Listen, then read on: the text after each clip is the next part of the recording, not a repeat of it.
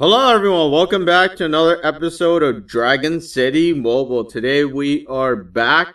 Um, we are going to be talking about how to breed one of the very simple dragons that, um, I guess, in the game. It is the Blizzard Dragon. If you if you're just beginning this game, you probably run into this dragon pretty simple.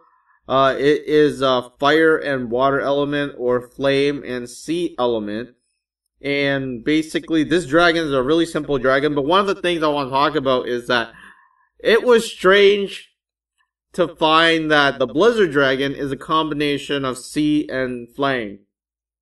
Because from the naked eye, or from, I guess, like, opinion, the Blizzard Dragon, I assume that it's like the ice element.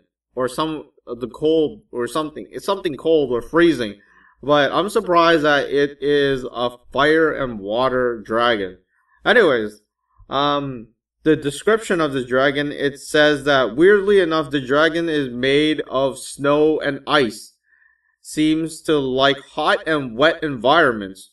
To see this rare dragon flap around in a pile of lava is definitely worth the effort.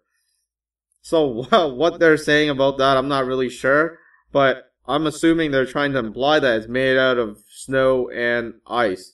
Anyways, this dragon is really simple to breed. If you're just beginning this game, you'll probably run into it because you have the flame dragon, which is the beginner dragon, and the, the other dragon you need to use is the sea dragon. You're looking for a two hours breeding time, so that's a two hours breeding time. It's not long. If you're beginning the game, um, maybe it's a bit long for you, but if you're already ahead in the game, two hours is definitely a really short time to wait.